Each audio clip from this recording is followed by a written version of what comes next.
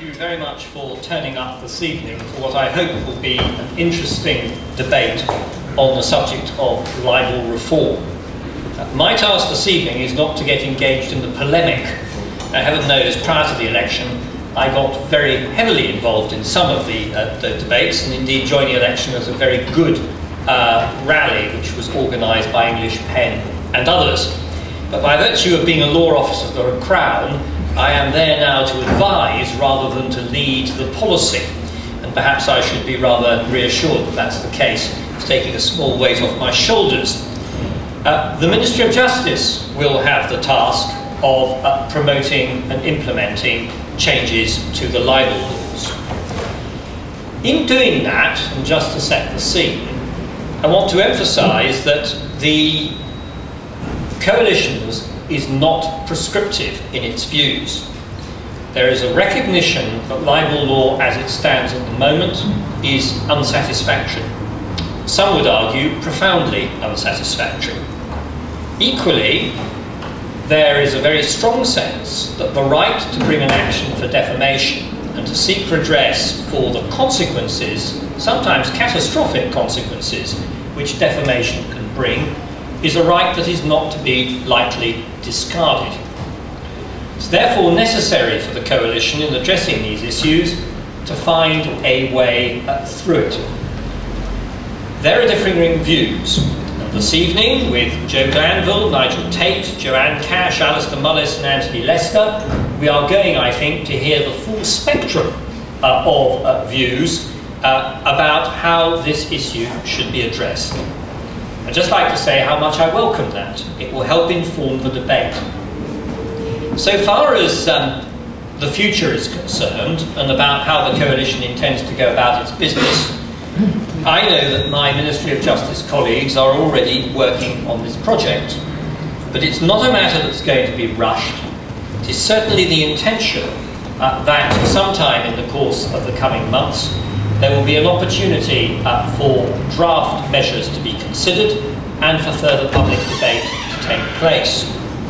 Beyond that, I don't think much more need be said. What we need at the moment is an active and serious debate. Firstly, to identify what's wrong. Secondly, to identify what might be done about it. And thirdly, to ensure that in the process of doing that, we don't throw the baby out with the bathwater. Now, having said all those things, I'm now going to act as the neutral and impartial arbiter of this debate. I don't suppose it's going to have to be a, a very onerous task. I've asked and suggested that the speakers should speak for eight minutes each, which with the numbers present should take us about halfway through our session. And then I very much hope that the second half of the session can be entirely devoted to questions and to a rigorous debate and discussion on the issues. Thank you again for coming along, and without more ado, I intend to proceed with the debate. Thank you. And to initiate it, I should have said at the beginning, I'm going to ask Jo Glanville, uh, who has been a journalist for many years prior to going to edit Index on censorship, uh, to address you.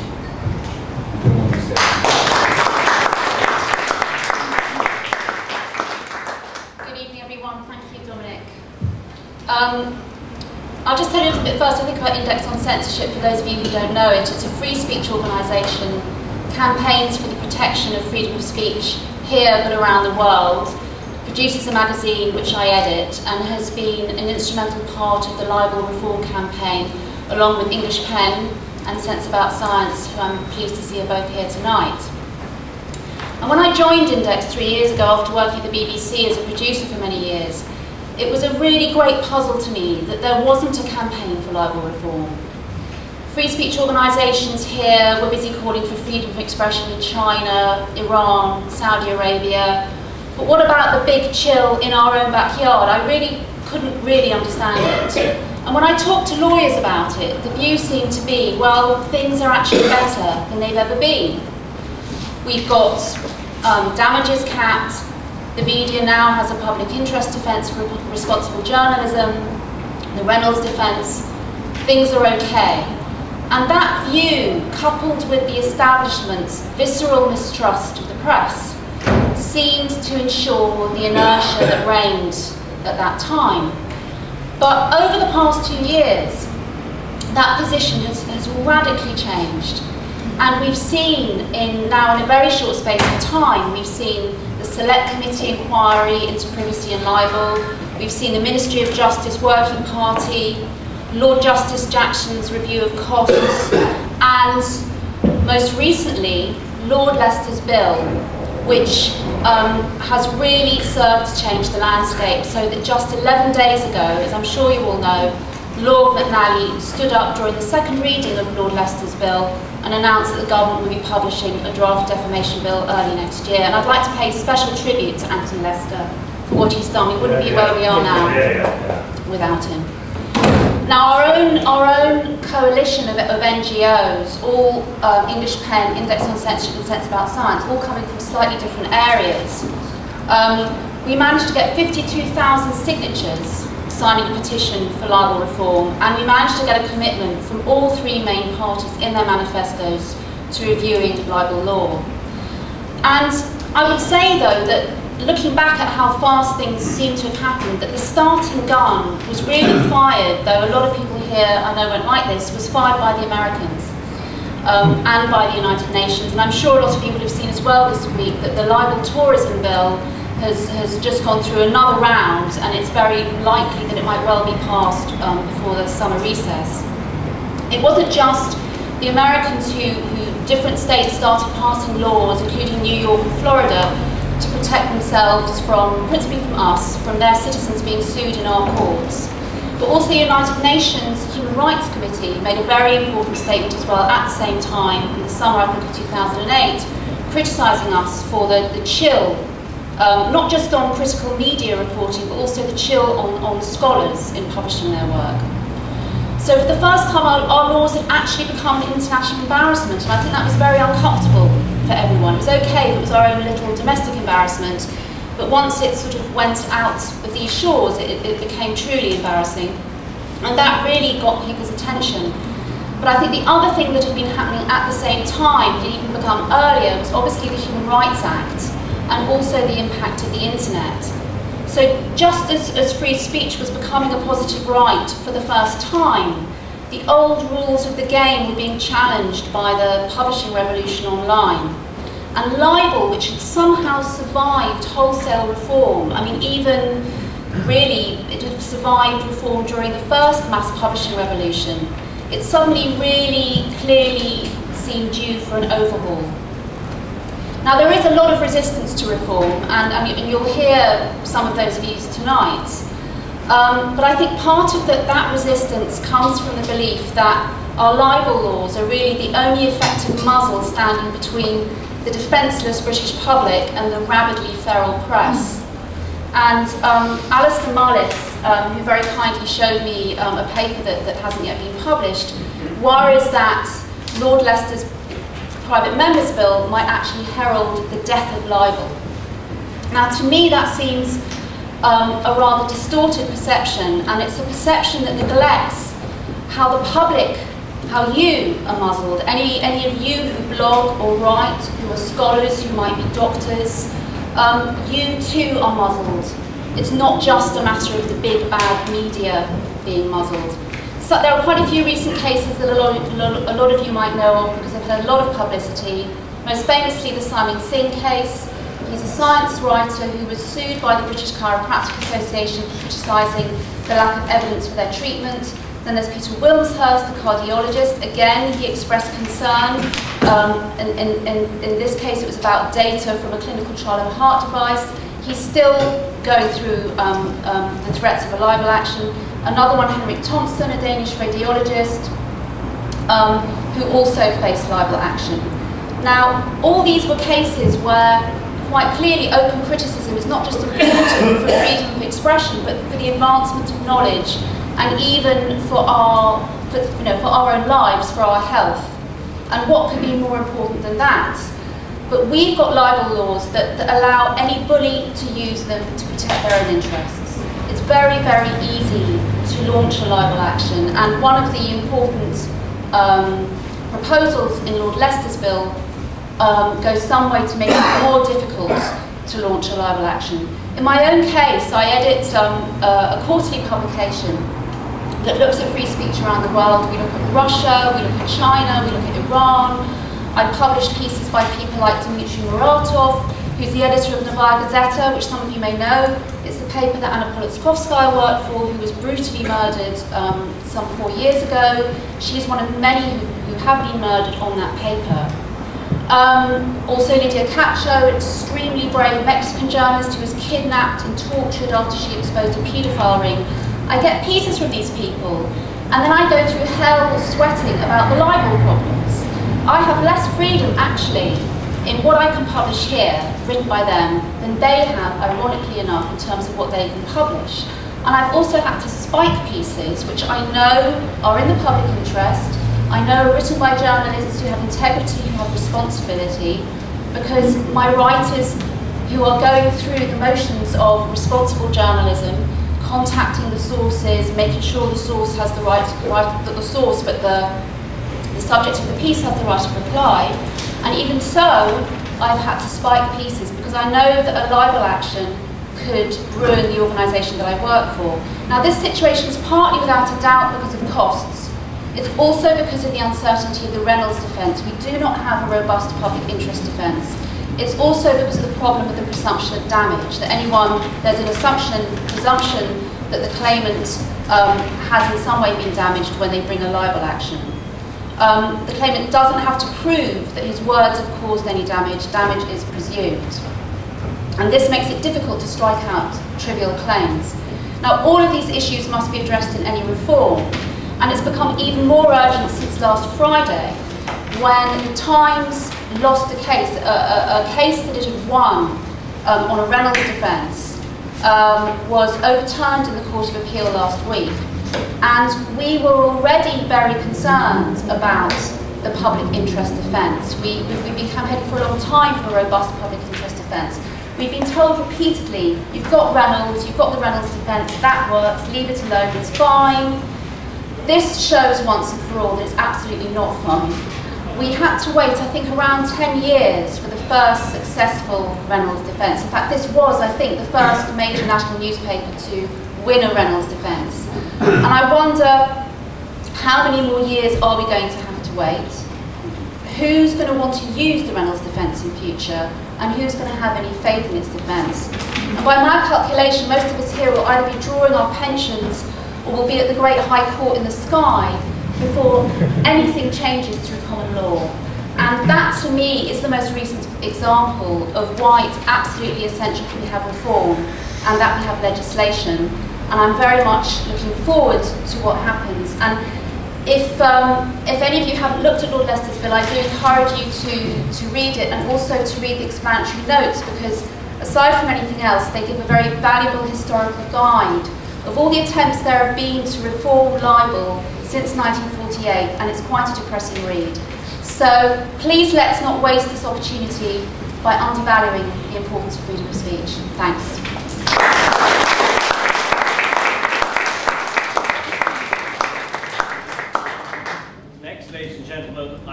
Nigel Tait, Carter Ruck.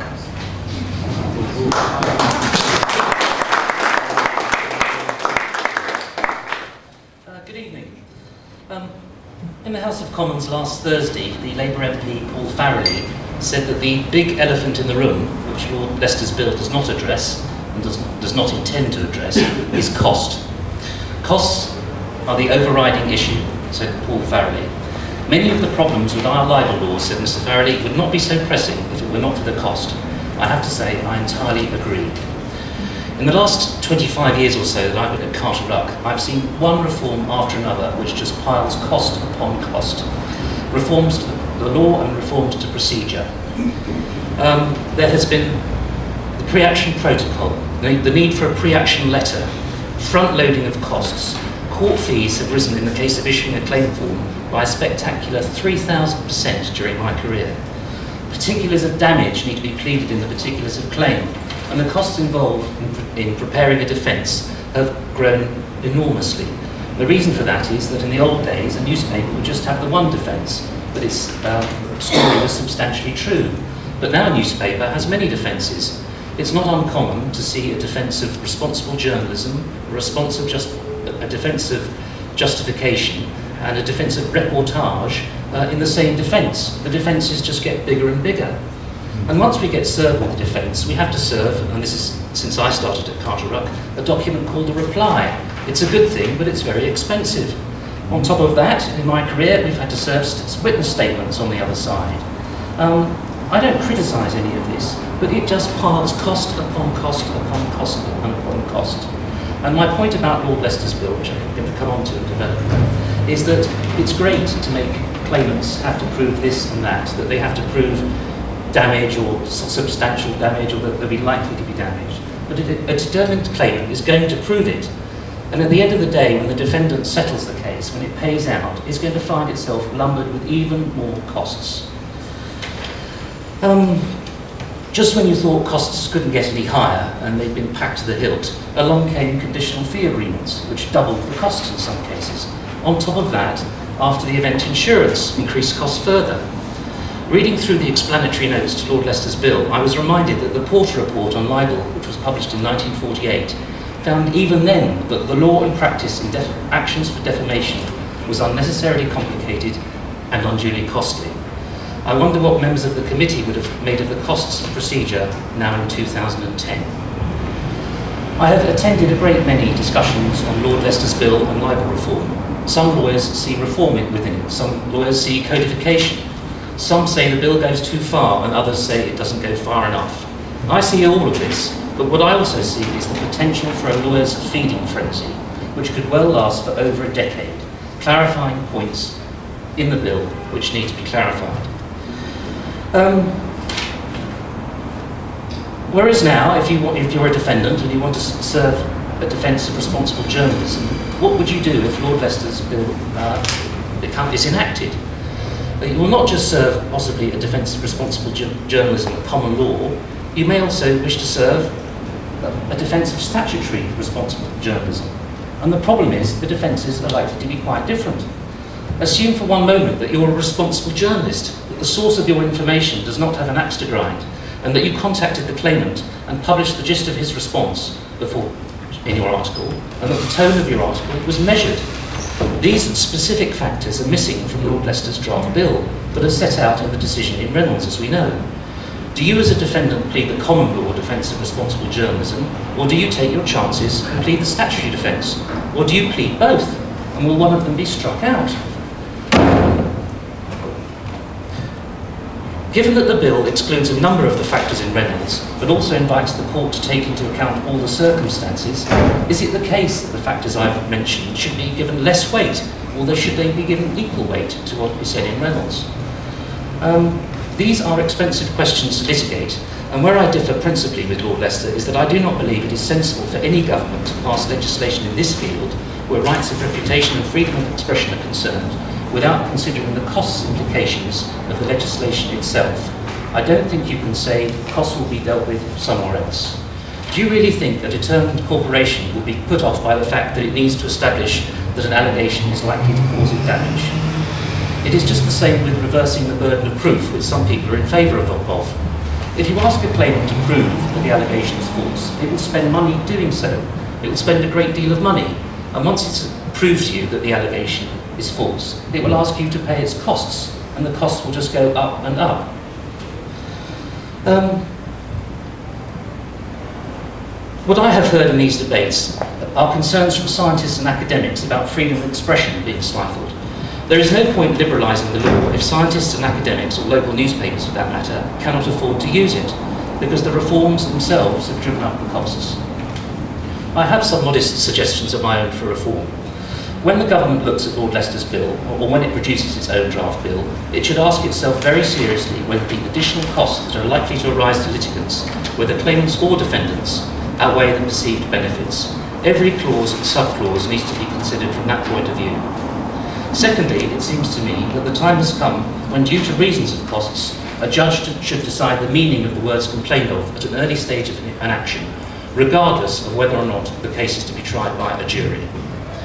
Thirdly, very serious consideration should be given to a more radical reform of the law than is proposed to protect scientists and academics. Although the Reynolds defence should protect responsible scientists and academics, it is expensive, time consuming, it often fails, as we've heard every national newspaper has lost that defence, um, and it does not, and it may not go far enough for scientists and academics. The government should seriously consider providing scientists and academics where they are publishing within their own communities a statutory defence of traditional qualified privilege, which can only be defeated by proof of dishonesty. If the stories are true that scientists are inhibited from commenting upon drugs, etc., and I think the government should ask for proof upon that, something needs to be done about this urgently. Proper, proper safeguards need to be built in if the law is to be reformed in this way. Desmond Browne, who's sitting in front of me, uh, suggested last week that for medical journals to be afforded such a defence, the article must have been the subject of peer review. For my part, I would only support such a defence where there was a statutory right for the subject of the libel defamation to be allowed to publish a statement by way of explanation or contradiction. I believe such a measure would encourage debate rather than stifle it. Finally, the judges who are trained in the law need to be trained and apply rigorous case management. It is simply too expensive to litigate over side alleys and unworn paths. Base costs need to be brought down if the conditional fee system is to work, and so must success fees, but not to the point where access to justice is impeded. It is not just claimants who use no-win, no-fee agreements. The courts need to firmly manage cases so that the real point at issue between the parties is decided, not countless satellite points about whether an article caused damage or substantial damage or is likely to cause damage. Uh, this needs to be done um, otherwise, the elephant in the room will grow so large that there won't be room for anyone else. Thank you.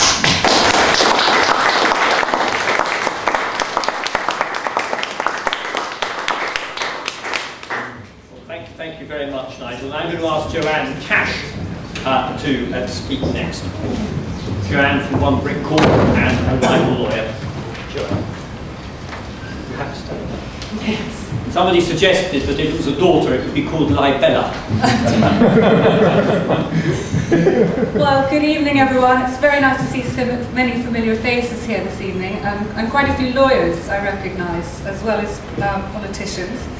Um, I'm three days uh, from my due date, so I hope there's a doctor here somewhere too, talking of scientists and academics. It seemed like a terribly good idea to come and speak at the time I agreed, but I had no idea it would be so enormous uh, and perhaps even so out of breath.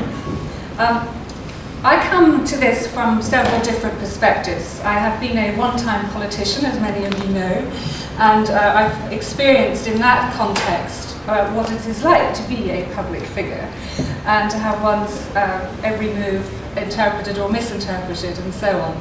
So I've had my ideological commitment to free speech properly tested, and I am still here, um, and still uh, largely in support, apart from some of the details in which I agree um, with the other side of the House, but largely in support of reform, um, and reform urgently, I think.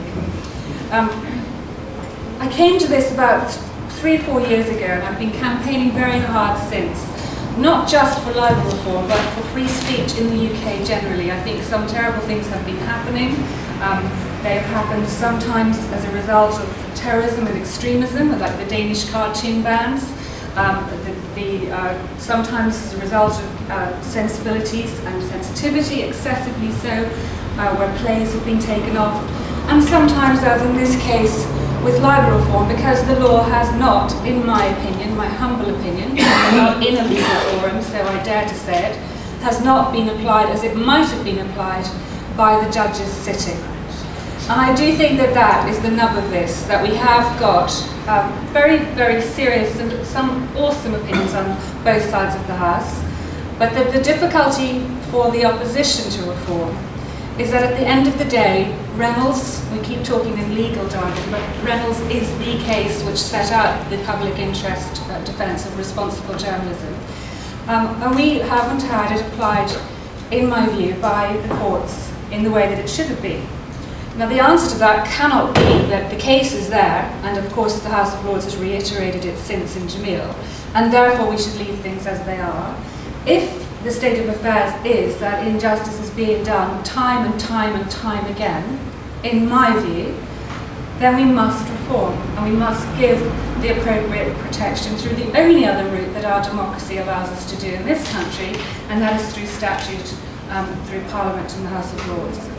now, I said I came to this from different perspectives. I am a libel barrister in my day job, and I have worked with most of the lawyers in this room, either for um, some of the solicitors or on the other side of some of the barristers. Indeed, one case which motivated me very much to get more heavily involved in the campaign for libel reform was shared by someone standing straight in front of me. And it's a case involving a woman called Gillian McKeith. And I was instructed in that case quite a while ago. This lady, some of you may know, uh, I know for a start will know about this. This lady last week caused a furore on Twitter because she attacked a very serious and eminent scientific journalist in this country called Ben Goldacre, many of you will have heard of, um, accusing him of being a liar who takes money to promote pharmaceutical companies. So she's a lady who's loose with her allegations, it would seem. But she wasn't so very happy some years ago when The Sun published the fact that her doctorate was not in any way related to her holding herself out to be a doctor of food and health and safety. And that has since been well established and she stopped using that particular moniker. On behalf of the Sun newspaper, I was instructed to go before the court with a Reynolds defence. So we drafted it and set it out. Despite it being the Sun newspaper, they'd taken all reasonable steps. It seemed like a serious serious investigation had gone on. They had travelled to the States, they had visited the college and so on. And the judge sitting on that occasion said no. And I then began to watch very closely what was going on in those defences when newspapers sought to mount them.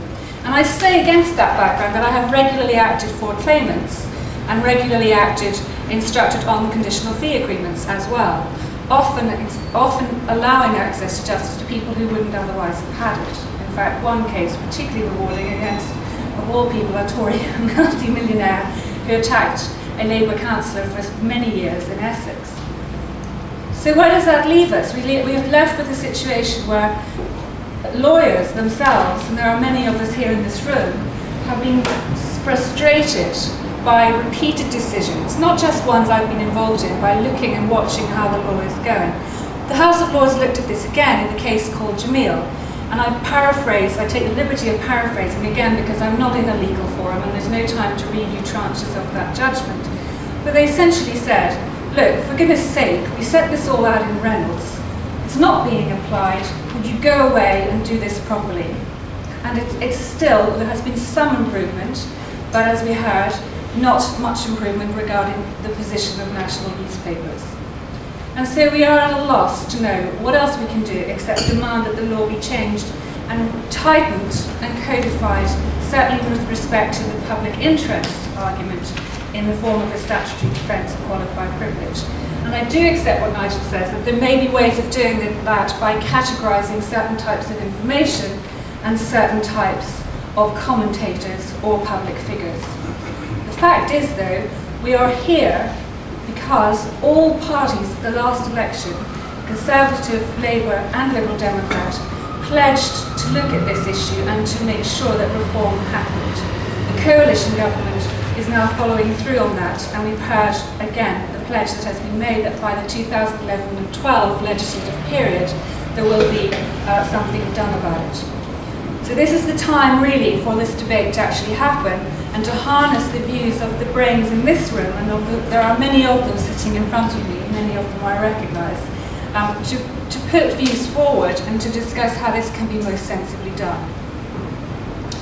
My own minimum manifesto um, would include some of the following.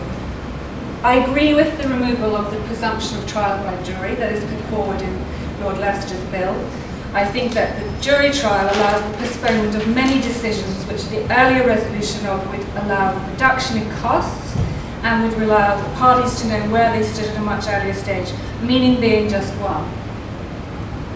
I think early compulsory resolution of meaning would be helped. I know that's not addressed in the bill, but I do think that's something that we should look at.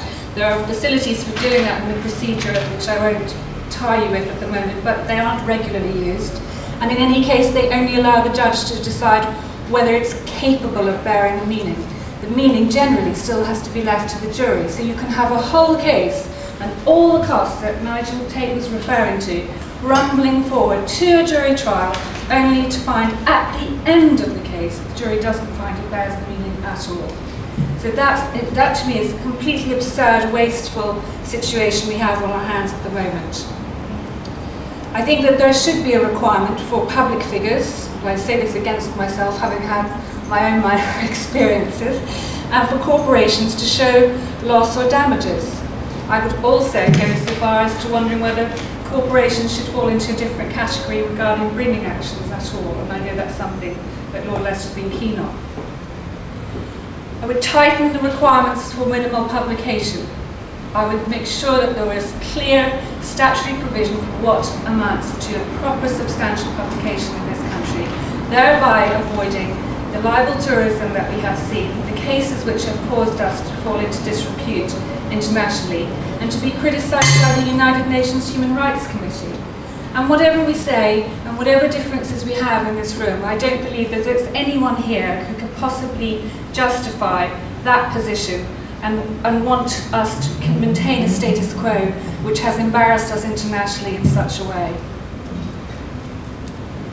I've already dealt with the qualified privilege, or public interest defence as I call it. I don't believe the answer is as it's set out in the bill, necessarily from moment to say with respect to Lord Lester, but I know he's also invited comment on this. But I do believe that he is right, that it needs to be addressed and it needs to be tightened. And, it, and if necessary, the fact that there is going to be two defences put forward by defendants is not an answer to doing it. It's not a rebuttal, just because it might cause the need for some clarification and may lead to some applications in the early days. I think that on balance, the reforms overall would reduce the need for the amount of litigation that we currently have. And it would allow NGOs and individual bloggers and scientists and academics to proceed, excuse me, with more confidence in their investigations. On balance, I believe that reforming that part of the law and providing greater freedom for the defendants who are currently afflicted by it um, will improve serious investigative journalism in this country. And at the end of the day, that's got to be what this is all about. We want to be able to investigate terrorism. And as Lord Bew recently said in the House of Lords debate on this very subject, that the history, Oxford history of Ireland is incomplete because of the fear of libel actions. And we've got to be able to move away from that when we're talking about such serious subjects. There's another issue which we haven't discussed today. Costs, I agree with Nigel, must be a part of reform, and they must, it's the elephant in the room regarding this bill, because as I learnt as a parliamentary candidate when I was campaigning, one talked about crime and crime statistics, which is often one of the biggest issues for voters. But fear of crime is as big an issue. And so sometimes people who lived where the lowest crime rates were were much more terrified of something happening than those who lived in the midst of it all the time. And the same thing has happened with libel. There is a fear of libel as much as there is a risk of libel. And the fear is that, as Jo has pointed out, when she is considering what she publishes, is the danger of her uh, publication going out of business, causing destruction. Finally, the PCC. When I said there were several reasons why I became intensely involved in campaigning for libel reform, um, just over three years ago, the PCC was one of the reasons why. I believe now that Baroness Buscombe takes seriously the issues regarding the PCC, but I do believe that the lack, the failure of self-regulation of the press has led in large part to us being here today. I do not think that there should be senior executives of large news corporations on the board of the PCC. Um, I do not believe that there should be um, highly senior journalists or editors on the panels of the PCC. But most of all, I believe that the PCC, when it rules on public complaints or individual complaints about the press's conduct, should have bite uh, when it issues its findings. And when I say bite, it should be able to order that public, pub, apologies are published proportionate to the damage done, because that costs money in advertising space. And there is only one thing that is understood by newspapers. And let's face it, people do get defamed. Reputations do get destroyed. Libel law is an important protection in this country, Ben Goldacre has been a significant player in the campaign for libel reform and last week finds himself on the receiving end of Gillian McKeith's own attack. So it, it has to work both ways. We must retain the protection and balance it with freedom of expression. But everyone in this room who has shown an interest here tonight, I hope will also get behind the pressure which I hope from the comments made in the House of Lords debate last week will become a part of this movement, which is to increase self-regulation in the press and to move from the tittle-tattle that the tabloids feed us day to day to some really serious investigative journalism of which this country has a very proud tradition. Thank you.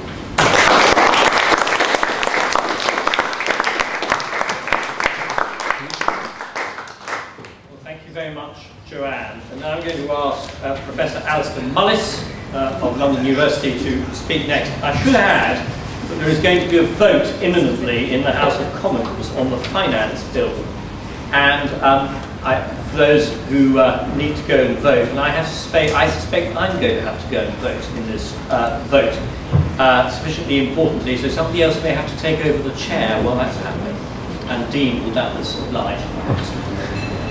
Once of, uh, of London University, I'm currently at the University of East Anglia. Actually, it's my uh, my writing colleague, uh, Dr. Andrew Scott, who is at the the London School of Economics.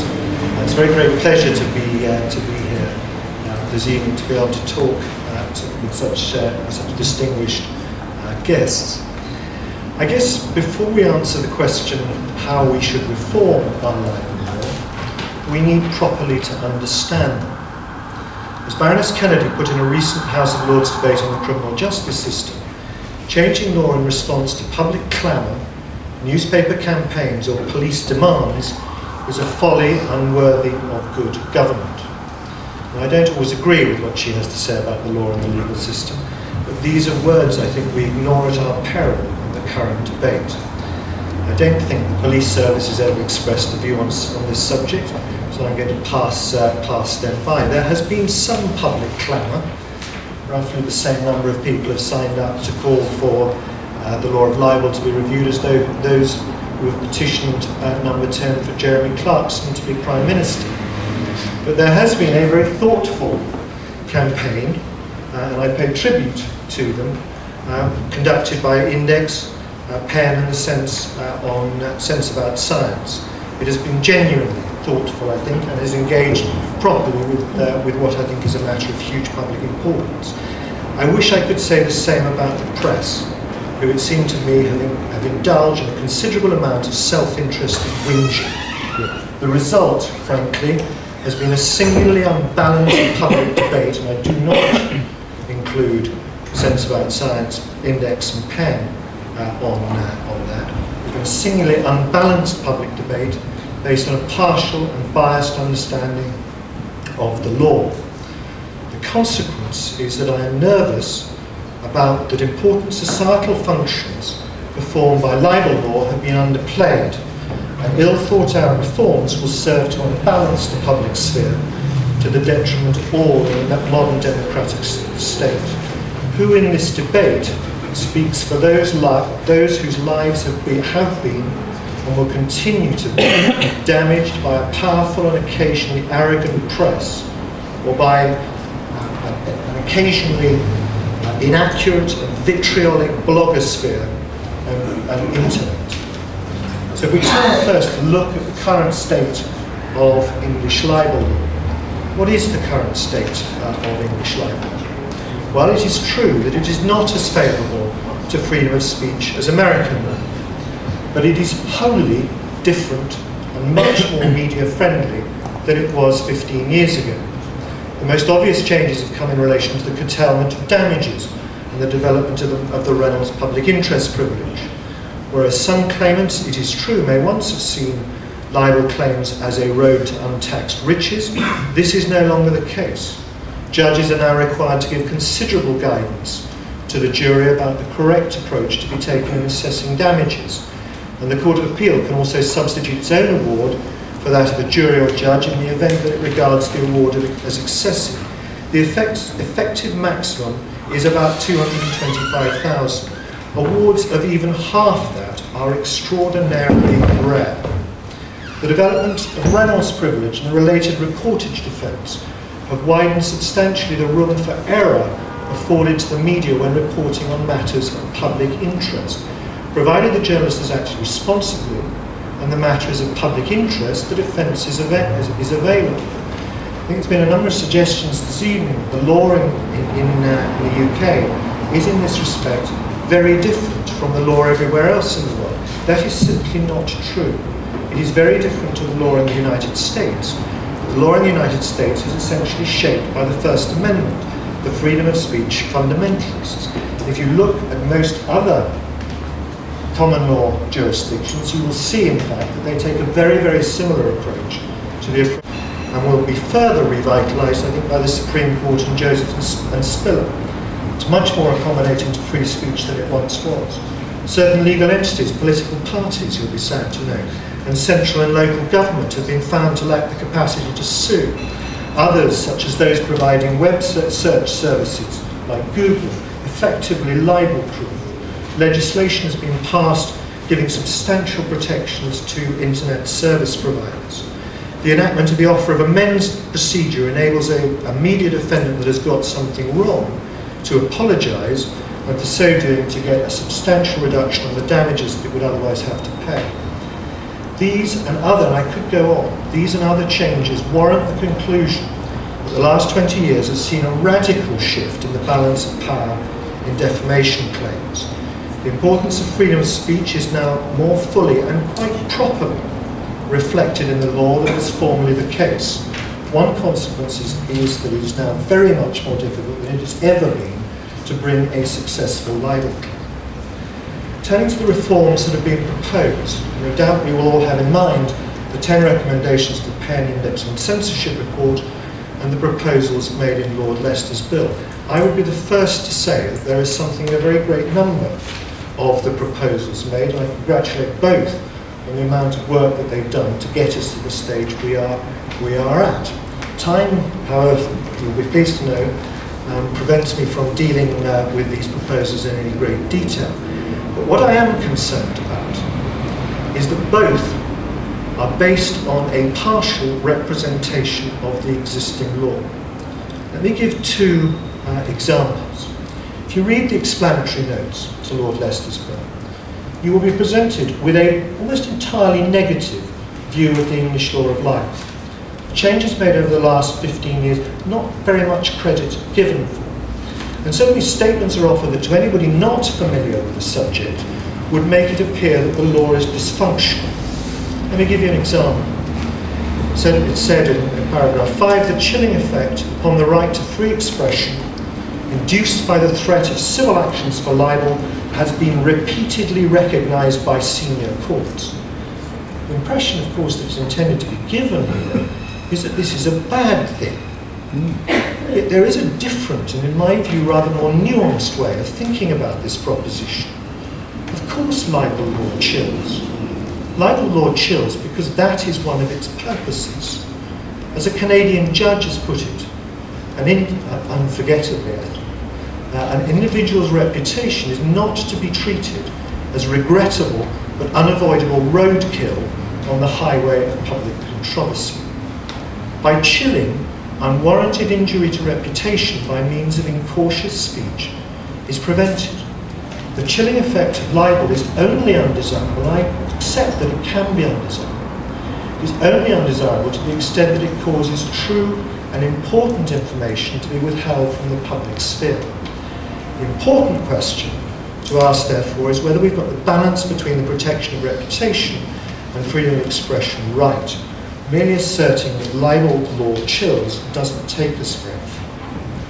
The second point I would dare make is that both sets of proposals are based on a mistaken worldview of the correct weight to be accorded to freedom of expression and the right to reputation. Lord Lester, speaking of the recent excuse me, the recent Westminster Legal Policy Forum, said on this business about the presumption in favour of free speech, Obviously, some argue that reputation and free speech must be equally balanced in all cases.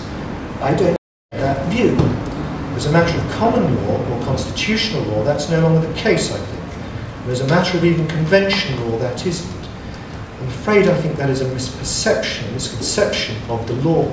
The courts in this country and the Strasbourg Court have made clear that reputation is protected under Article 8. And when both rights are engaged, neither has automatic priority. And this was emphasised only last week by a very strong Court of Appeal with Master of the Rolls presiding. Unfortunately, if you start, as both Lord Lester and the PEN Index on Censorship report do, by according priority to Article 10, it's almost inevitable that the law produced will be inconsistent Strasbourg and the important societal interests currently protected by the law of libel will be in danger of being undermined. Now, how do we move forward? Well, I think we need to recognise that the faults in the existing law do not generally lie in respect of the balance it strikes between the protection of reputation and freedom of expression. I think in general, English law gets that balance right. And so far, although I'm perfectly willing to be persuaded, so far I have not been shown sufficient evidence to suggest that English libel law is fundamentally broken.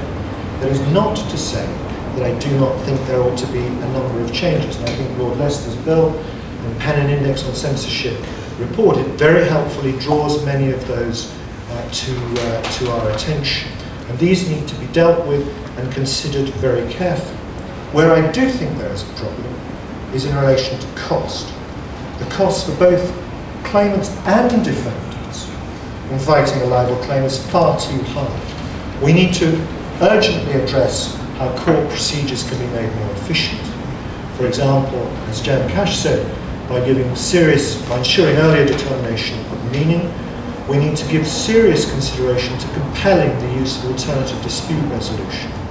We also need to deal with some of the problems to which the CFAs can give uh, rise they're hopefully informed by a rather more careful analysis of properly collected evidence than was the case with the last government um, when it attempted to curry favour, frankly, with the Fourth Estate by delivering a kicking to venal claimants' lawyers.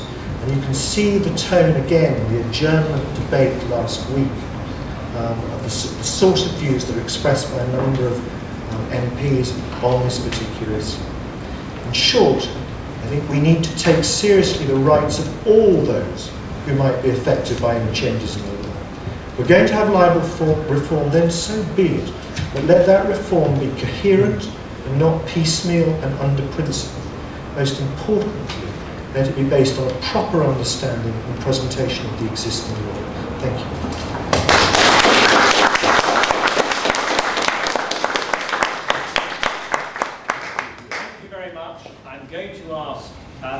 Anthony Lester to speak last. I'm also going to ask Joshua Rosenberg to take the chair, and I'm afraid I have to apologise for my absence as the vote has just been called. Be back Dominic, very shortly.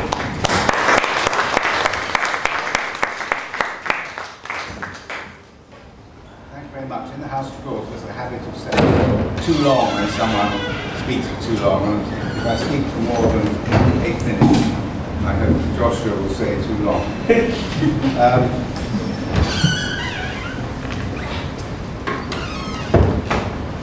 I, I, keep a, a, saying in my chambers to remind me of why I'm a liberal. Um, the saying is, the spirit of liberty is the spirit that is not too sure that it is right.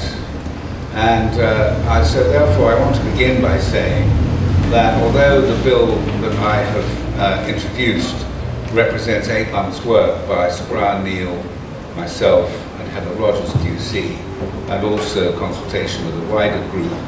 Of course, I recognise that it can be improved in various ways, and I'm delighted by those who I regard as helpful in putting forward practical suggestions. I was taught by Roy Jenkins, my mentor, to argue to solutions and not to conclusions. So that's my starting point when I thought about drafting a bill, I was determined that it would strike a fair balance between the important right to reputation and the important right to free speech. Uh, and that's what I have sought to do. Uh, I therefore resisted temptation to go much further and either to adopt the American rule uh, or, or, to uh, otherwise transfer the burden of proof onto the, um, uh, on, onto the claimant. Uh, and I think that anyone who actually bothers to read the bill carefully will recognize that the whole of the bill is about how to balance the public interest between free speech and reputation. I see at the back of the room my colleague Evan Harris, and I should just like to say that but for him, none of this would ever have happened because it was Evan more than anybody who stimulated me uh, with the idea that I should produce a private member's bill. One of the really difficult things about producing a private member's bill in an area like this is that it's not like civil partnership or equality or forced marriage, where you start with a clean slate you're starting with several hundred years of common law. And one of the really hard things is to decide what the balance should be between what Parliament does and what courts do. I was struck by the fact that Parliament has done very little and that the courts have been largely responsible for the development of the law as it is in this country and the rest of the common law world. And it seemed to me important not to be over-prescriptive in the bill, not to set out too many detailed rules, but to set out some principles within which the courts could uh, interpret and apply the law. And that's a very difficult thing to do. Uh, when one or two of the speakers have talked about, for example, uh, there being two different kinds of defense, uh, Nigel Tait mentioned this, Reynolds' defense of common law and a defense under a, a statute. Obviously, if the statute is seeking to clarify what has been a common law defence, uh, one would expect the courts thereafter to treat the statute as giving guidance, rather as we do in different contexts, treat the Human Rights Act as giving guidance, but within that, to no longer to apply common law to the extent that it's inconsistent. I've not dealt with costs for the good reason that there are full existing powers to deal with costs. I've not dealt with personal privacy because that is an entirely complicated and separate subject and I tried to, to deal only with what I thought one could deal with in one bill. It's not a bill for the media. It's a bill intended for the citizen, for NGOs, for critics of abuses of power of one kind or another. And one of the things that's impressed me is that not only the free speech NGOs have helped, but NGOs dealing with consumer issues, with uh, fights against jihadist extremists, uh, with those dealing with questions about science, uh, famously understood now, those regard themselves, whatever the professors may say, uh, and whatever those who are practitioners may say, those on the receiving end find that the chilling effect causes them to lapse into self-censorship in ways that they find uh, dangerous.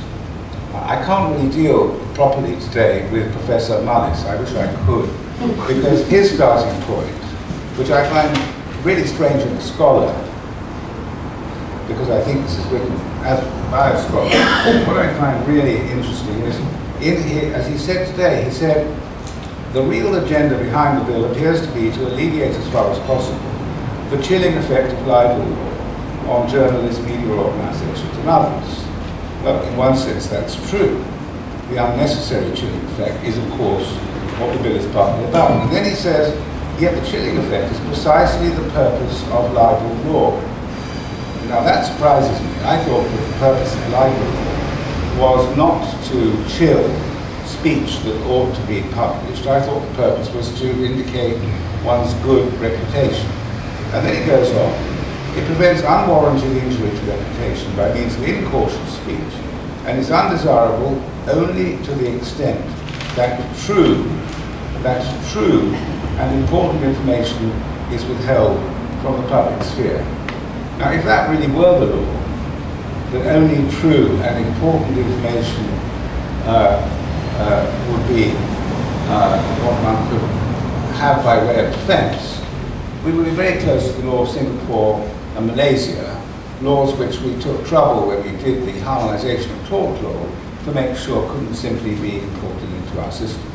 So apart from the allegations of lip service to this, that and the other, uh, and other attacks upon it, and suggestions that the bill will lead to the death of libel uh, and undermining of the important societal interests at stake. I have to say to the Professor that I don't find that approach helpful. I think it is not really a fair representation of the work that has been put into this, and I'd like to debate it on some other occasion. Now, um, I'm not going to go through what the bill does in any detail, uh, but can I just say that it is designed partly to encourage alternative dispute resolution and speedy settlements. It doesn't deal with ADR because Charles Gray's Working Party is doing that at the moment. It is designed to promote self-regulation, and I entirely agree with what Jo said about the need for reform of the PCC make sure that it's independent and gives effective remedies, because I'd much rather that these matters are dealt with by self-regulation than by litigation. The reason for changing the presumption about jury trials is, as Jo has said, to facilitate speedy settlements and reduce costs. The reason why we have dealt with the defense of truth, which we now call it, uh, in the way that we have, is to allow judges to rule on meanings, not just the most serious meaning put forward by claimants, in order to enable speedy settlements at the outset. That is one of the purposes of the bill, and I think that's a very important one. The reason we have not put in a special defence for scientists and academics, but have instead cut down the Reynolds criteria into what Sir Brian Neill and Heather Rogers and I thought were the essentials. The reason we've done it that way is because the Reynolds defence, the public interest defence, is not there to protect any one class of persons over others. It's not there to defend any to protect the media. It's not there to protect mainly scientists. Uh, it could just as well be there to protect someone like Lord Hughes in the audience, who spoke the other day about the problems for historians, for example. It's there to protect which the Consumer Association, when it disparages a product and is threatened libel, it's there to protect Quilliam, the anti-terrorist organization, when it makes strong criticisms about uh, a particular uh, broadcaster who is, they think, encouraging jihadist extremism. In other words, one has to fashion these defences so that they are available to everyone.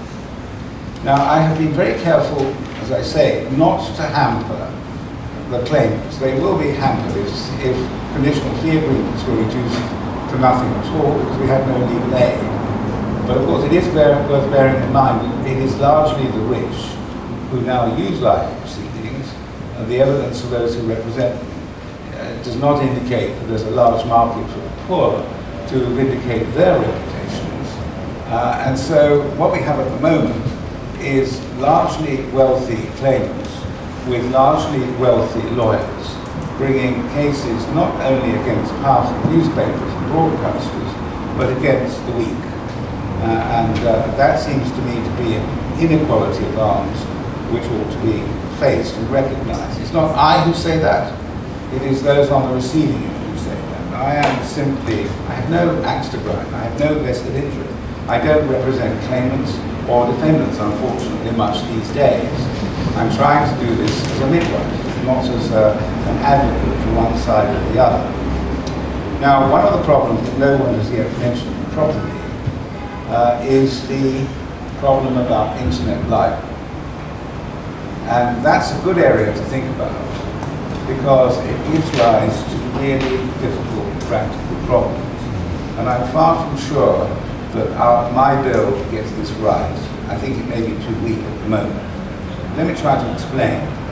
If you are Amazon Books in America selling a defamatory book, or if you are Google, whose search engine reveals uh, uh, some defamatory publication or statement, or if you are Mumsnet, uh, also with a website, the difficult problem is what should the law do in requiring that host of the web to take down an allegedly defamatory publication. What my bill rather weakly does at the moment is to distinguish between the innocent facilitator and the rest, and say that where the um, claimant alleges that there's a defamatory publication, then it must be taken down within 14 days by the website host, or else they've got to defend the libel themselves. I'm not sure that that is the right solution. I'm not, if any of you here are dealing with uh, the internet, I'd love to know what you think about that. The American position is different, as some you and there's a big debate in Europe about what the right solution should be. The most extreme solution in favor of the internet service provider would be to say they only have to take it down if there's a judgment or a concluded settlement. so one of the, one of the one of the weaknesses in my bill is it may not properly address internet um, defamation in a way that Google, Yahoo, and the rest needed to. Uh, finally, I think it's just about just about. Okay. Finally, uh, finally, may I say that um, I put in. I haven't put in. Uh, there won't be a lawyer's feeding frenzy. Someone said a lawyer's feeding frenzy. That I think is really not likely. But what the bill is really doing is what Sir Anthony Mason said a long time ago in an Australian case, the Fairfax case, where he was talking about confidentiality. And he said that the tort of confidentiality needed to be looked at through different spectacles in terms of the public interest when it was not a purely private dispute. Uh, and that was something which arose in Spycatcher, which Desmond Browne and I were involved in in various ways. That notion of the public interest, of looking at a private law tort through public spectacles, is really what it's about. If you want a long-winded way of describing it, it's the constitutionalization of a private law tort. And the only reason why we do it for libel or privacy or copyright is because information wrongs give rise to tensions between free speech and other competing rights and interests. And I simply don't agree with, um, uh, with the professor, I'm sorry to say, I don't agree at all that the starting point should be other than a common law right to free speech, subject always to the compelling interest in protecting reputation and other interests. Every other country but the United Kingdom has a constitutional bill of rights for whom the starting point would be free speech.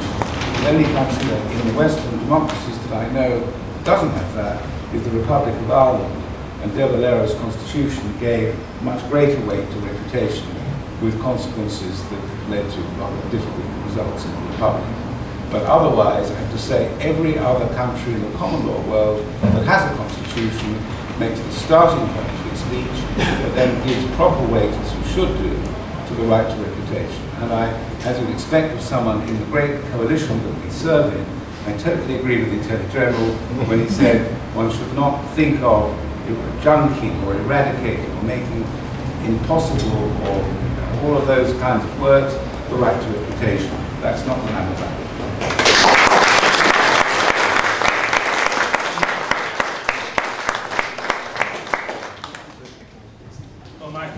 to Anthony, and I'm sorry that I heard only his first words and his last. My thanks to Joshua for stepping in. It's now time to have a discussion or debate. Can I ask people to ask questions if they want, or to make contributions? Perhaps they would like to identify themselves when they speak, and could they keep their contributions like, not too long so that other people can have an opportunity of participating as well? So, uh, Alexander Horn from the Commons Research Service. Uh, when the Select Committee uh, looked at this last year, um, they considered not only the issue of defamation, but also that of privacy. And it's interesting to know whether the panel thinks that those two issues should be separated out. Who would like to go first?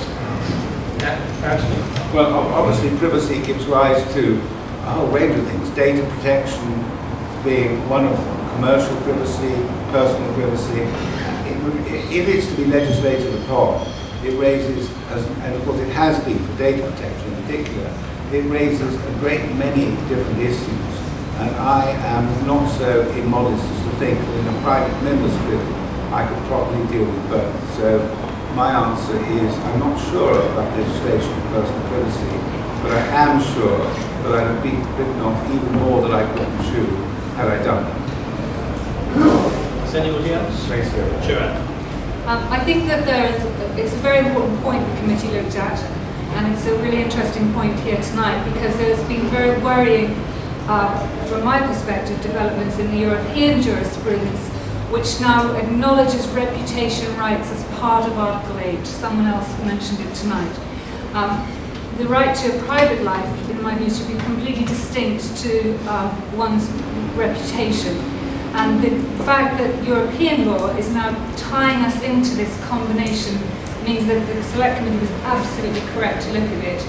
How we deal with it, um, the bill in its draft form, I, I, I, just don't know, I haven't gone that far, but I certainly worry very much about the extension of Article 8 and the protection that it's now given. Look, could I just say, I mean, oddly enough, I was criticised before, this is my understanding, oddly enough, I think that argument I understand it, is a bit semantic. Because I have no doubt that the right to reputation is a fundamental right. No doubt about that at all. And whether you find it in Article 8 or, or, or as an exception in Article 10 is to me beside the point because the, the principle of proportionality applies wherever you find it. So I find the Strasbourg Court in, in a muddle of that. Sometimes they treat it as though it is an Article 8, and more recently not. But my, my, I, am truth, I am assuming the right to reputation is a fundamental right. That is one of the premises for that. But I agree with you that some of the case law privacy goes too far, like the von Hannover case and the product goes too far. And what Max Mosley is seeking to do in Strasbourg at the moment has only been done in East European countries. And that, I think, is to, to require a rule that whenever anyone wants to invade someone else's privacy, they've got to give notice so that there can be an injunction. I find that going too far. Does anybody else on the panel want to come in on that? Otherwise we'll move to the next question. Yes. Uh, Tracy Brown, Sense About Science, as far as um, I, I, was really interested from uh, Professor Mullis uh, to, to, hear that the law gives us so much um, in the way of public interest defence because I look at the cases uh, that have confronted us in which Jo Glanville outlined, for example, a cardiologist criticising uh, the representation of um, a heart device uh, trial. Um, and Simon Singh criticising uh, uh, unfounded treatments being offered to cure infant conditions. And I can't think of cases that more represent the public interest. So I have to ask myself, why then was this wonderful defence not available uh, to those cases, which I think all of us in this room would agree um, are, are absolutely the epitome of what we would call the public interest defence. And I think part of the problem is the reference point is the handful of cases that we reach the courts, and we don't hear um, about the citizen critics and the human rights groups and the uh, scientific debate. And I have to say that from a scientific point of view, working out what's true and important is actually the role of public debate uh, rather than the role of the courts. Um, so I think it's very important that that what comes first in Anthony Lester's bill, and I hope will come first in, in what the government puts forward, is the case for a public interest defence. But I think perhaps we should look again at the provisions, because in the spirit of upholding the freedom of the citizen critic, because in particular, I mean, Anthony's mentioned the inequality of arms, um, and the problem of large organisations silencing their critics. Well, you know, I welcome the provision in, in, in Anthony's bill um, regarding companies having a higher burden of proof. Uh, although many of us in the campaign do feel um, that the uh, malicious falsehood uh, is the remedy for companies um, and that we should keep defamation for the protection of individuals uh, who have been wronged. Um, but what about, I mean, why stop at companies? I, I, do, I think perhaps for any organisation that performs a function that is public in nature, why should they be able to silence discussion by individuals, by citizen critics? Uh, I'm thinking of, of, the lawyers in the room will be familiar with Derbyshire, uh, which the House of Lords said it was of the highest public importance that there's uninhibited public criticism in the interest of democracy and accountability. So why, Anthony, could, could he not include something like that in the bill, or for the government too? There's quite a lot there. I wonder if the Professor would like to start, as he was mentioned first. I, I guess there, sorry, I guess there are a number of things I would, would, would say to that. I mean, it doesn't seem to me that you need provision saying that um, public bodies can't, like central government and local government can't sue when that is in fact the law already. Um, the central government can't sue political parties, can't have no right to sue local governments. Uh, local government had, have no right to sue. Um, it's always puzzled me why Simon Singh never didn't plead Reynolds, I have to say. I mean, it seems to me to be preeminently uh, a matter of uh, a matter of public uh, public interest that that particular um, that particular uh, in that particular case. So I'm I'm I'm very puzzled, frankly, uh, by it. Um, it uh, it also seems to me that as long as those people, the critics, choose their words reasonably carefully and do not engage in ad hominem attacks, they will very easily bring themselves under the Reynolds defence. So I'm, not sure I accept that Reynolds is quite as toothless uh, as, uh, as it seems. And I'd, I'd, be very interested to know, again, why Simon Singh Um, I want, first, first of all, on Reynolds, what went wrong, in, I argued Reynolds, what went wrong in Reynolds was that Lord Steyn wanted to look at German constitutional law and we finished up with ad hoc balancing. And the president of the German Constitutional Court told me afterwards it was a complete cop-out because the, there's no weighting given to any of the factors. Therefore, it is truly standardless. And what we've attempted to do in Clause 1 is to refine the criteria, leaving it to the judges. Now, Tracy's point about the Derbyshire case is a really important new idea, which I, which I agree with. And I don't know whether Dominic um, what, Dominic will think about this. But, I mean, in Derbyshire, the law lords said a central government or local government body has to use malicious falsehood and can't use libel law because of democracy. And one of the cases they referred to was a South African case called Die Spoorbond, where a railway company in before the first, Second War was, was struck out from using libel. Now, I think what Tracy is asking essentially is why don't we include in the government bill a provision that where someone is exercising functions of a public nature, as it were Section 6 of the Human Rights Act, we should take the logic of, of uh, Derbyshire and extend it. And I know of only two cases where it's been extended. One was extended to British coal, and the other extended to a political party. And so I think I, am guilty of not having thought about, about Derbyshire in what we did. I think we need something for companies and something for public bodies as well. The problem I have about companies, and we wrestled with this, is the distinction between what is a company and what is not a company is difficult because there are many bodies that are similar to companies.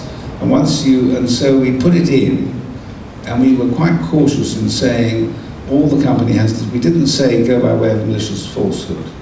But I personally think there's something attractive about that. But then you've got the problem about the little company, the one woman or one man company, and the huge company, and how you. So I find the company side is really difficult, and I'm sure that that will have to be considered. Thank you. I just saw, Robert, that uh, Simon Singh's solicitor's here, and I wondered if you'd be able to answer Alice's question as to why uh, you didn't defend the case on the grounds of Reynolds. Well, yeah, I think that the, it, the, first time that was ever mentioned was by Lord Justice Sedley in the Court of Appeal, who, when he said he thought it could be a Reynolds case, was sneered at by the Master of the Rolls and the Lord Chief Justice. So, uh, uh, the, the, the point, the, the same result was given by far less eminent lawyers and some more eminent lawyers. And I think a, a comment piece in a newspaper article is manifestly not going to be Reynoldsable as it stands.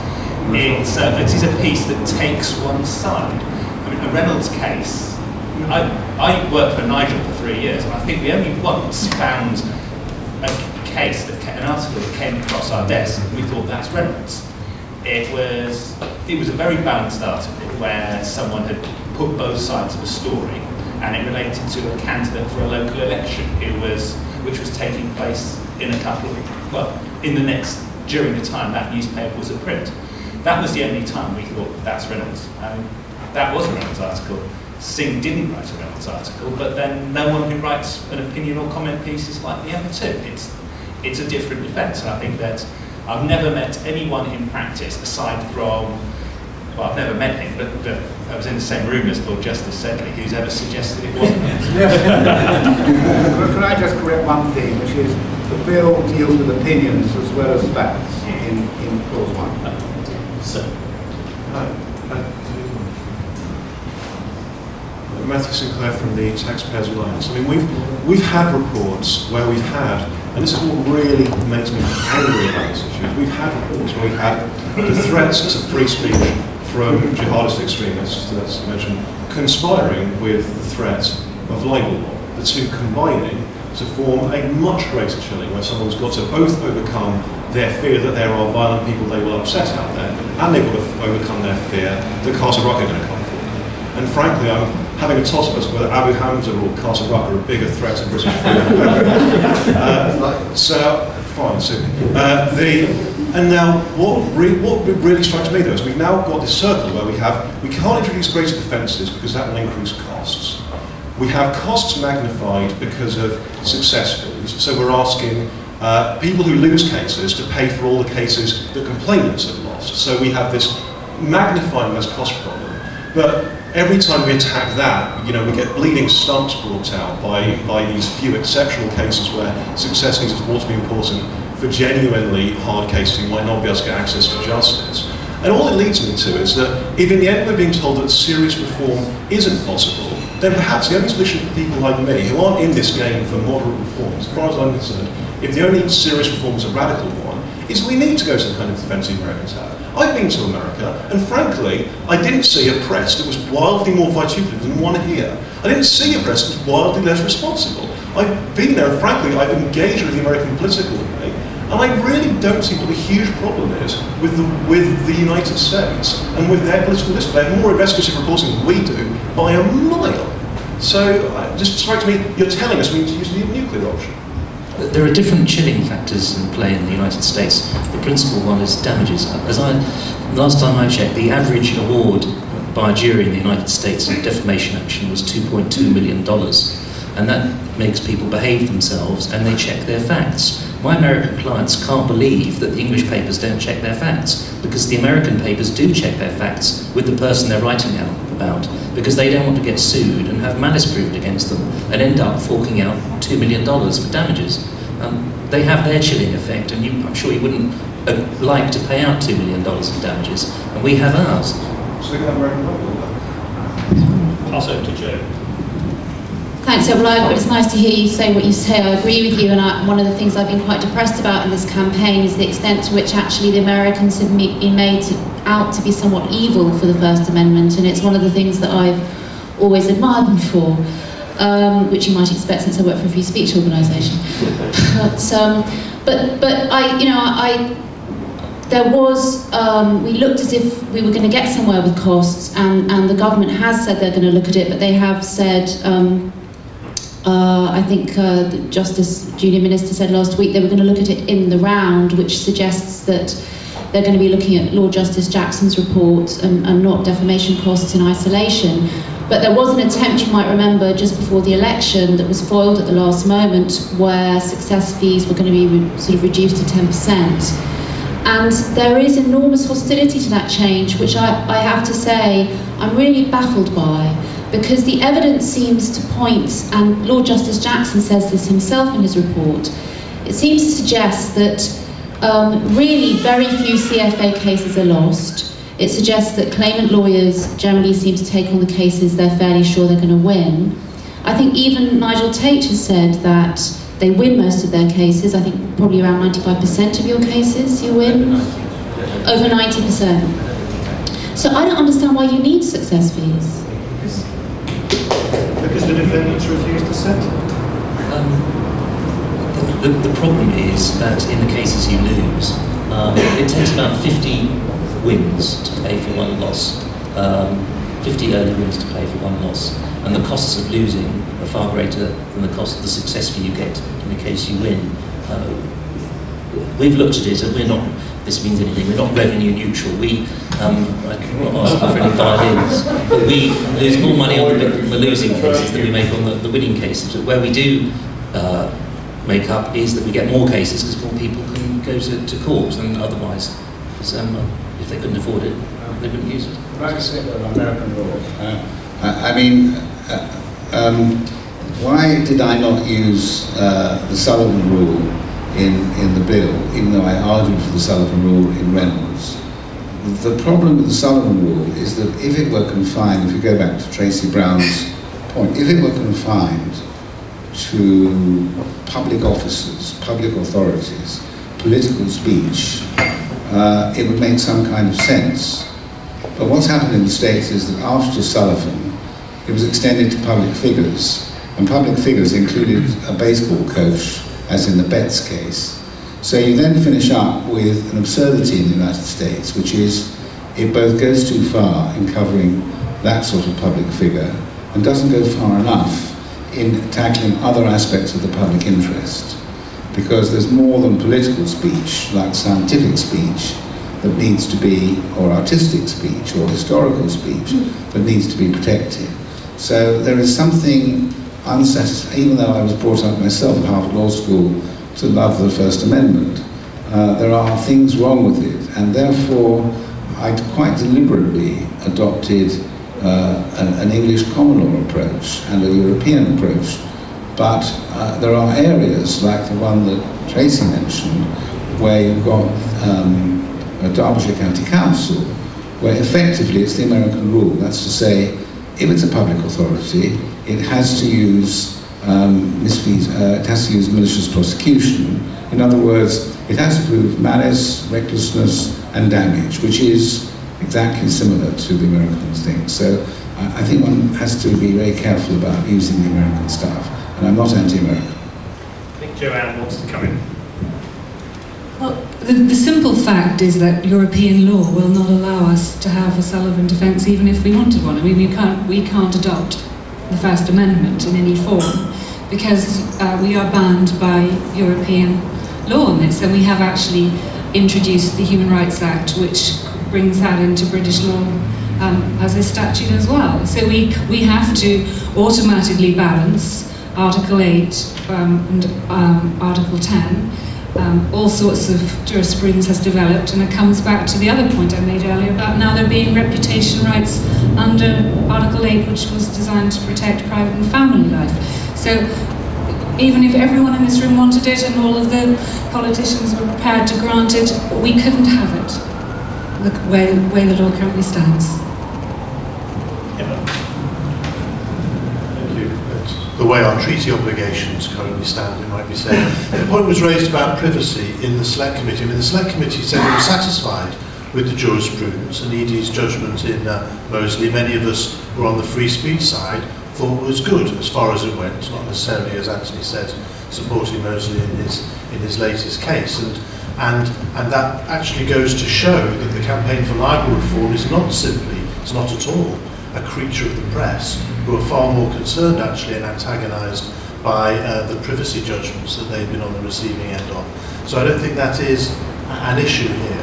I just wanted to reinforce what's been said by Joanne and Nigel about firstly companies. I think the simplest way would be, if you're defining companies anyway with the need to prove damages, you may as well just say companies rely on malicious falsehood and have to show malice or recklessness. If there's a definitional problem with companies, doesn't matter what you do, there's still a definitional problem, but it doesn't solve, it doesn't create a problem in tax law as far as I know. Uh, certainly not a definitional one in tax law. Um, and on the question, I just really finally want to raise this point about the importance of having a public interest defence. I absolutely agree that that should, which quite rightly clause one of the draft bill, and I hope it would be in a government. But just because it's designed to capture more than simply the press, the citizen critic and so forth, doesn't mean that, as Nigel suggests, and supported by Joanne, you couldn't have, because there is already a list of statutory qualified privilege beneficiaries, allocate where there's valid reason to do so, as Nigel said, which is academic peer review and an automatic right to replies exists in these journals, why you couldn't put that in, because it would remove the chill. It wouldn't affect Singh or Wilmshurst, these weren't peer reviewed, but it would prevent editors of journals having to go to lawyers to argue with often companies, and usually pharmaceutical companies with deep pockets, uh, and they'd just be able to point to QP, which is just a, a quicker way than having to go all the way to the defence. So I think this is a fascinating discussion that's been had, and I'm delighted that there are so many people with open minds as we consider these reforms. Briefly, I'd like to try and get two or Yeah. three more people in before we stop. You have to be avoid being too prescriptive in the bill and leaving proper things to courts. Now, when you're dealing with statutory qualified privilege, you can list all the bodies like the courts of Zimbabwe, the Parliament of South Africa, public meetings, press conferences, where a fair and accurate report with a right of reply, qualified privilege, no problem. But what we thought about, we thought about your point really carefully, Evan. We decided that once you start to have categories with rules, saying special thing for peer review and academic thing, then you find you're doing it for lots of other categories, like the ones, historians I mentioned, and others too. So we thought the best thing was to say the nature of the publication and its context. It was Tracy, I remember, who insisted on context, so you could then make it scientific, for example, historical, for example. But we have to have a partnership with courts. And that's why I don't want this to be a cage or a code or rigid set of rules. It has to be a set of principles.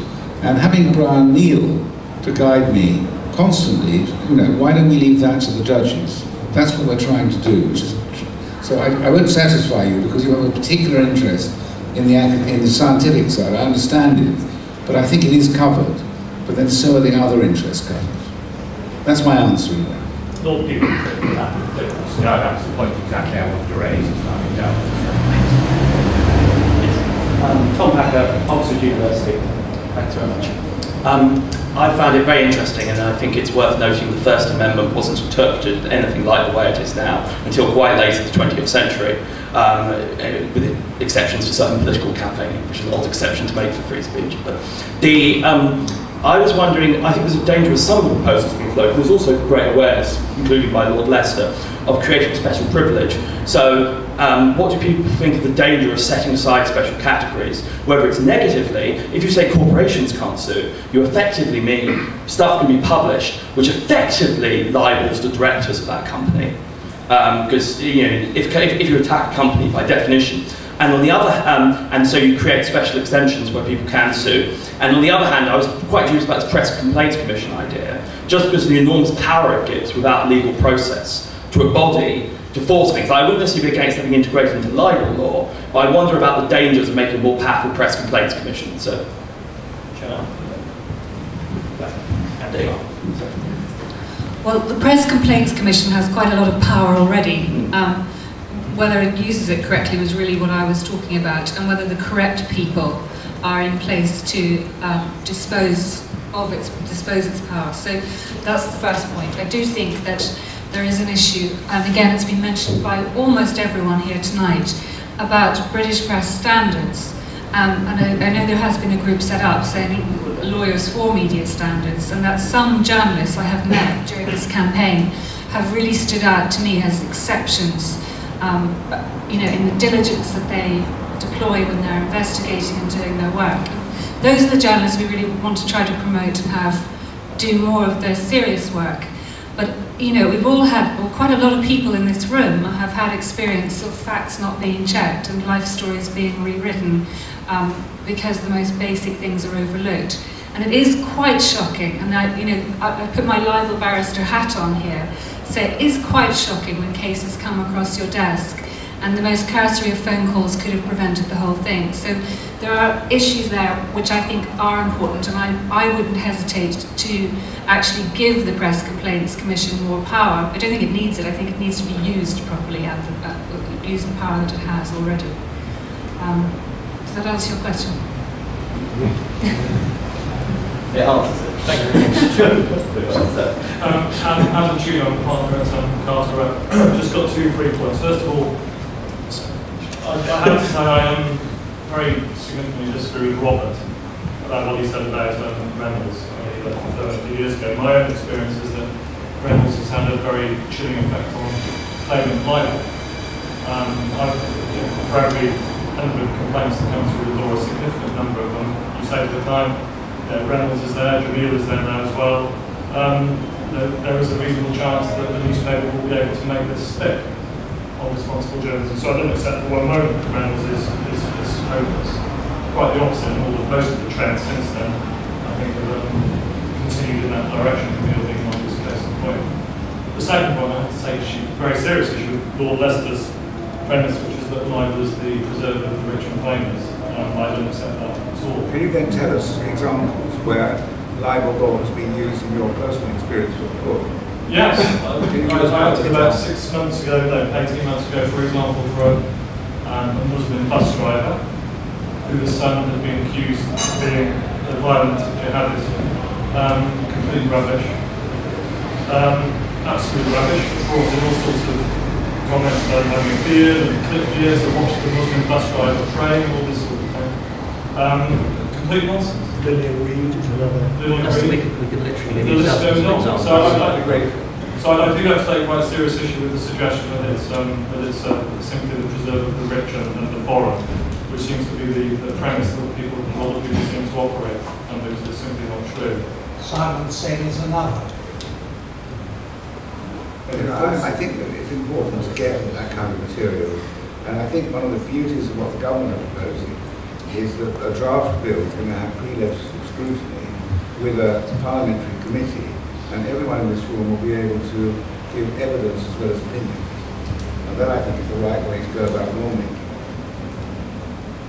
Lord Almsby, I think it's the Um, last. Michael Olmsted, I'm chairman of the House of Lords Communications Committee.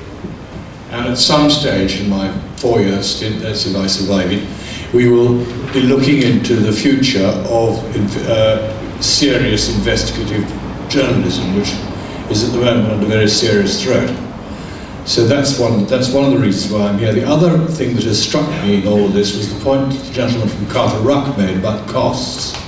If you are a small person who is sued by a big person, it appears to me, however cleanly you win, you still land up with an enormous cost bill.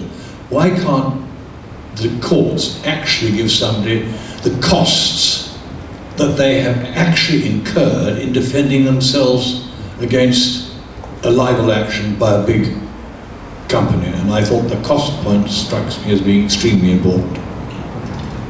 Any response from panel members on that? Desmond, I've got a question. you got a question? Desmond, Um, to make an exception.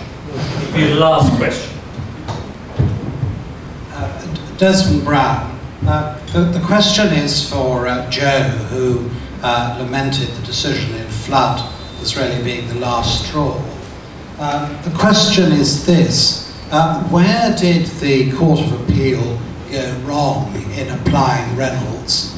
Uh, and uh, would Lord Lester's bill have produced a different result? And if so, how? Having regard to the finding that the journalists had failed to verify the allegations made. I assume, assuming me Jo the non-lawyer as opposed to Jo the lawyer, don't you?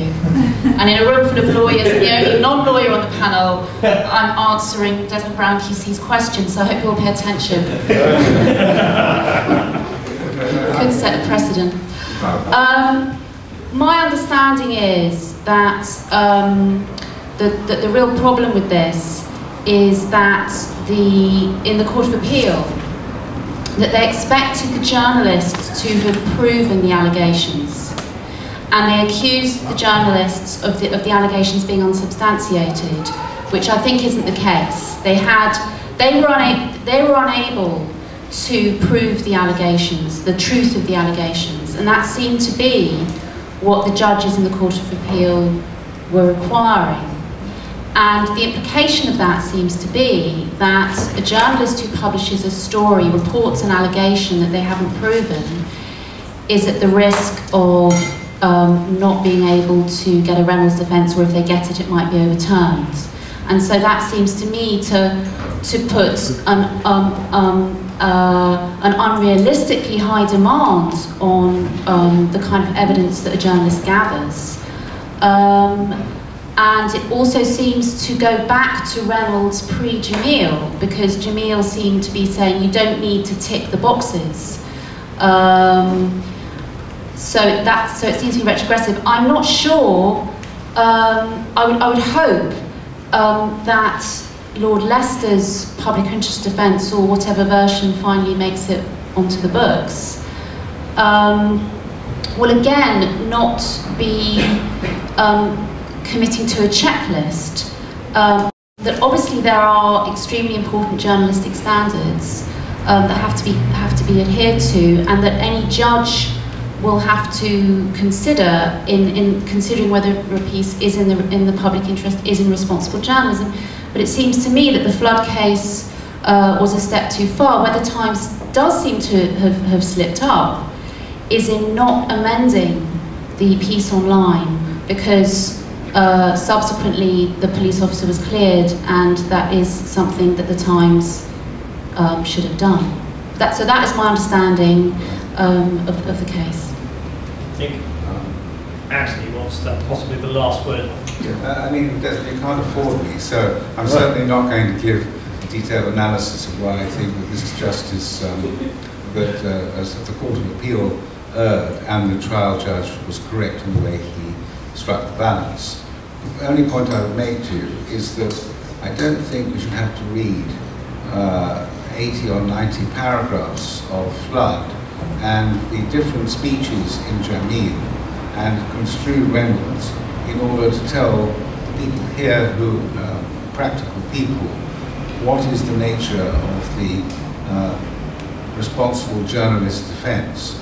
I think it's perfectly possible to set out good criteria that are user-friendly and that is the purpose of responsible journalism provision. The other thing which has not been mentioned is I believe that so far as journalists are concerned, they're a profession and they've got to be held hmm. to professional standards if they want to take advantage of that defence.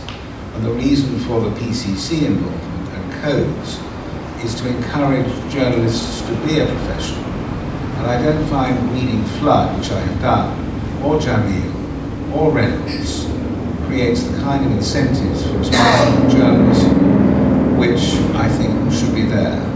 And, and, and I'm very glad, by the way, that the South African uh, Constitutional Court in the Namibia case have adopted something very similar to what's in the bill last week as a matter of their common law. So I, I think that what I'm trying to do, what. Brown Dean is trying to do, is to use factors that judges can interpret and apply greater consistency. That's what, that's what I'm about. You may be right in thinking the Court of Appeal better than um, Mr. Justice Tugendhat. I take the opposite view, but it shouldn't be left to that kind of argument. And then for you and I to earn our living trying to construe all of this to NGOs and citizen That's, that's really what I believe, and that's what I'm trying to do.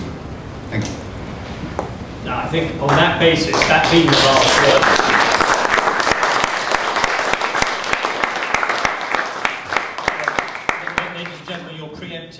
I would like, on your behalf, to thank the panel for the time they have given uh, this evening and for this very lively and entertaining debate, to thank Policy Exchange, to thank Dean Godson for having organised it, and to thank you all very much for coming.